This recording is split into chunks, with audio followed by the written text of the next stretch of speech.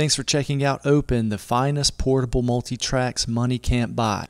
Here's the original idea for the build with the objective of getting all of the components for my portable recording setup in one place with access in the back for all the wires and connectors. And not long after I started executing that plan, I changed the scope of this project to basically build a makeshift laptop with all of these components integrated into it. Check out Fenced In Area on Instagram for free open source resources on that design process and how to build your own portable recorder. The first thing I did was get some lightweight aluminum angle from Home Depot to make a ledger for the false floor.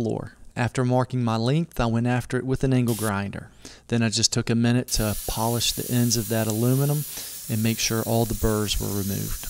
After I made sure they were the right length and polished on the ends, I started the process of riveting them to the inside of the case. This was a fairly easy process. The only thing I wish I'd have done differently was to put some washers on the outside of the case with the uh, rivets. You can notice it's kind of a marshmallowy, soft material that's used for these sidewalls, and uh, the rivets sink in a little bit more than I would liked, but not the end of the world. After I got everything riveted in, I just pushed on it to make sure that I had a good solid foundation to put my false floor on. Next thing I had to do was remove the accordion portfolio from the top that also has accessory holders in it that left a bunch of glue and adhesive behind so I just kind of soaked that stuff out. There was also this weird little D-ring at the top of the lid of the case that I just kind of grinded and pulled out. I used half inch American walnut as the false floor and the lid material. To get the width that I needed, I just did a glue up of those walnut pieces. A glue up is really just strips of thinner wood that are glued together to make a wider piece. The case is only about 18 inches wide, so I put three, I think number 10 biscuits in and did the glue up from there. Uh, the biscuits just kind of help keep everything in alignment. Something like a dowel, a domino, or a biscuit keeps everything from sliding and keeps keeps it flat. Once I had all the biscuits in and had everything good and glued up, I just clamped everything together.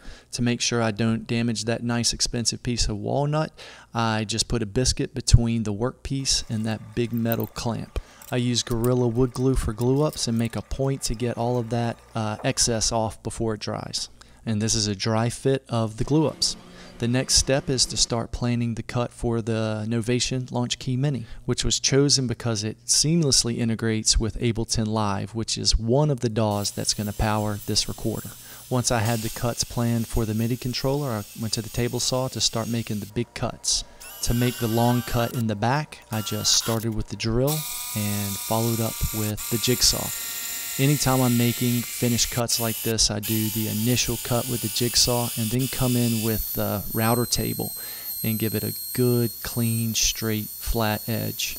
When I changed the design of this project to recess the Launchkey into the false floor, one thing I didn't plan for was the USB connector in the back. So I took some measurements and just transferred those over to the bottom side of the false floor routers spin pretty fast, so I always prefer to use the router table if possible, but in this instance I just freehanded it and cleaned it up with a rasp. Now that Launchkey looks like it was always meant to be in there. Next thing I had to do was to get the false floor ready for the analog to digital interface. I used the Audient ID4 for this build because in my opinion it is the smallest, most well-built interface with the best preamps for the money. Don't let the fast time in the video fool you. This took a while. I think I mentioned earlier in the video that when I changed the design of this project, I basically decided to make a homemade laptop. So I settled on a portable Pixio monitor to install in the lid for the graphic display. Same concept here. Use a jigsaw for the big cuts and then use the router table to clean everything up and give a nice straight edge. Uh, you can notice I'm not freehanding any of this. I'm using the fence for my table saw that I use as the router table to keep everything good and straight. One tip is to get your jigsaw line as close to your final line as possible. Uh, it's just easier on your router bit. The large through cut you just saw me make was just big enough for the visible part of the screen I want to see. About three sides of the monitor have about a three quarter inch bezel uh, around it and the bottom of the screen has about a eh, three inch bezel. I don't want any of that bezel to be seen so I'm going to recess the screen into the lid. Again, don't let the fast video time fool you. This is a really, really long process. One thing about woodworking is you can always take more wood off. You can't add it. So I just go slow and take take material off at like a 64th or 32nd at a time when you're dealing with really precise electronic work like this. Here's a quick progress look of all the electronics that have been cut out for. That's the Audient ID4 in the top left of the false floor. When I redesigned this project to basically be a homemade laptop with portable recording capabilities, I decided to use a 2011 Mac Mini I found on Craigslist as the brains of the computer. And all of this audio software is really going to have that Mac Mini working hard, so I'm concerned that it's going to create a lot of heat. So um, I decided to get a little electronics fan and uh, make room for that getting that fan planned and installed was really the last piece of the hardware puzzle. And after that, this project really turned into an electronics project. So as I started the electronics part of this project, this little right angle XLR adapter that's going to plug into the Audient ID4 in the back was the biggest challenge probably of the project. I'm grinding out the back of the housing because the ID4 pushes all the way to the back of the briefcase. And this right angle XLR connector sticks out so far that it pushes the Audient ID4 into the back of the Novation Launchkey Mini. So I've got to figure out a way to make enough room. I eventually just ended up losing the housing altogether and just soldered my wire and cable directly to the XLR HOTS and ground. Ultimately, I had to solder about five two-sided connections on this project, but just showed you a couple here. When this project's done, the ultimate connections I'd like to have on the outside of the case are an XLR microphone in, a quarter inch guitar in, an eighth inch headphone out, a quarter inch headphone out, a quarter inch left and right reference monitor out and an HDMI out so when I want to connect this recorder to a larger screen. The biggest problem I hit installing these connectors was this eighth inch headphone out and USB expansion connector. You can see where it hits the little aluminum bar on the bottom of the case and makes it stick out. And I can't move it up because the aluminum ledger on the inside of the case is at the top of it. So I got the angle grinder out and made some very slow, precise recalculations, and it worked out great and brought that thing in really flush, which you'll see here.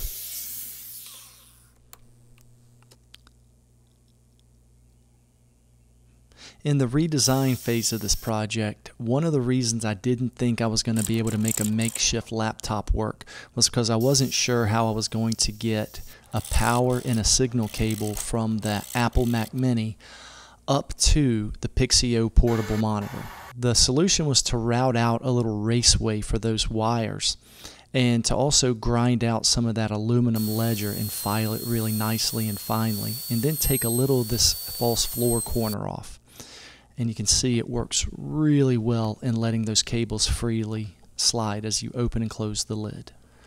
Once I got all those connections made to the outside of the case, I wasn't really crazy about how it looked from inside the case, and although you'll never see it, I wanted to clean that up a little bit, so just made this little trim piece out of some quarter inch walnut. Getting towards the end here, I just took a 6 inch uh, sander, which is way too big of a sander for that little piece of wood, and just started cleaning things up, getting all the burrs off, and got it ready for finishing. The design inspiration for how I wanted the woodwork to finish is like the old Rupert Neve uh, consoles and everybody's favorite, the Minimoog. I just always loved the way those two products marry just beautiful woodwork with really complex uh, electrical engineering. I used Odie's oil on the walnut and it delivered beautifully.